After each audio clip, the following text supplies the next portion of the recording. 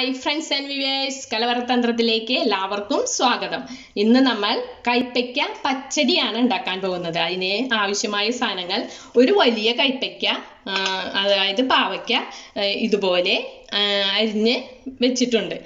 പിന്നെ മൂന്ന് പച്ചമുളക് ഒരു മുറി തേങ്ങ ഒരു നാളികേരത്തിന്റെ പകുതി തേങ്ങ ചിരണ്ടിയത്.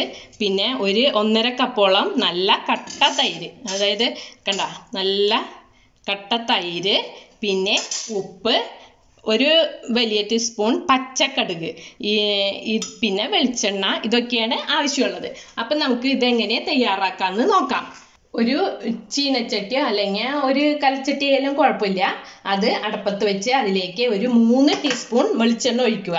വെളിച്ചെണ്ണ ഒഴിച്ചതിന് ശേഷം നമ്മുടെ കൈപ്പയ്ക്ക ഇതിലേക്ക് ഇട്ട് ഇട്ട് കൊടുക്കുക. ഈ കൈപ്പയ്ക്ക നമുക്ക് കുറച്ച് നേരം നല്ല ഫ്ലെയിമിൽ ഇട്ടിട്ട് പിന്നെ അത് കഴിയുമ്പോൾ തീ കുറച്ച് ഒന്ന് വാടാൻ വെക്കുക. കുറച്ച് നേരം വാടണത് എന്നാലാണ് ഇതിന്റെ ആ കയ്പൊക്കെ ഒന്ന് കുറഞ്ഞ് നല്ല ഇതിൽ കിട്ടുള്ളൂ. അപ്പോൾ കുറച്ച് നേരം കരിയാൻ പാടില്ല. ഇങ്ങനെ ഇളക്കി ഇളക്കിക്കൊണ്ടിരുന്നാൽ ഇത് വാടി കിട്ടും. അപ്പോൾ നമുക്ക് ഇത് വാടാനായിട്ട് ഇടാം.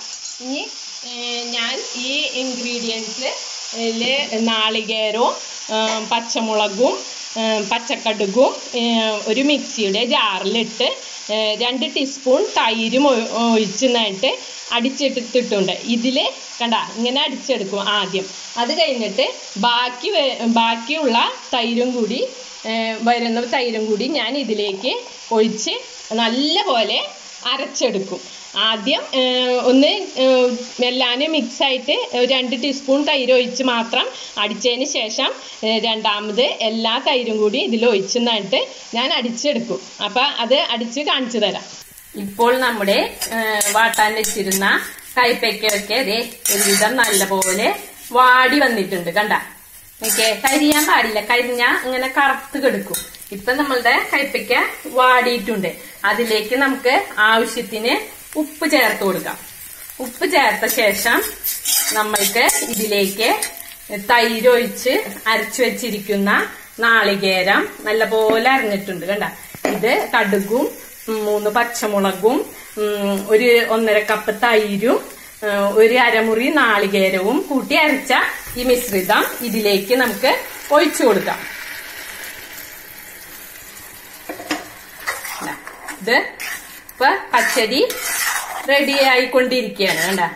ഇതിങ്ങനെ റെഡിയാക്കിയ ശേഷം നമുക്ക് ഇതിൽ ഒരു ഇൻഗ്രീഡിയൻസും കൂടി ചേർക്കാനുണ്ട്.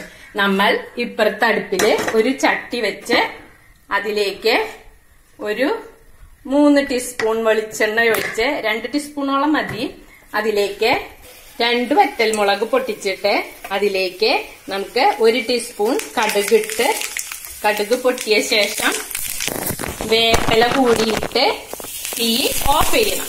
ഓഫ് ചെയ്തിട്ട് നമുക്കിത് അധികം തിളയ്ക്കാൻ പാടില്ല. ഒന്ന് ചൂടാവാന ഈ ഇത് പച്ചടി പാടുള്ളൂ. അപ്പൊ നമ്മളുടെ കടുകൊക്കെ വറുത്തിട്ടുണ്ട്. അപ്പൊ ഇതിലേക്ക് നമുക്ക് ഇത് ചേർത്ത് കൊടുക്കാം. നമ്മൾ വെച്ചിരിക്കുന്ന പച്ചടിയിലേക്ക് ഇത് ചേർത്ത് കൊടുക്കാം. അപ്പൊ നമ്മുടെ പച്ചടി ഇത് ഇതായിട്ടുണ്ട്. അപ്പൊ ഓണത്തിന് എല്ലാവരും പച്ചടി വെക്കില്ലേ? ഇപ്പോൾ നമ്മുടെ കൈപ്പയ്ക്ക പച്ചടി സർവിംഗ് ഡിഷിലേക്ക് ഞാൻ മാറ്റി പകർത്തിയിട്ടുണ്ട്. ഇനി ഇത് കാണാനുള്ള ഭംഗി പോലെ തന്നെയാണ് രുചി കേട്ടാ എല്ലാവരും ഇത് ഉണ്ടാക്കി നോക്കുന്നതിനൊപ്പം ചാനൽ ലൈക്ക് ചെയ്യാനും കമന്റ് ചെയ്യാനും സബ്സ്ക്രൈബ് ചെയ്യാനും മറക്കരുത് കേട്ടാ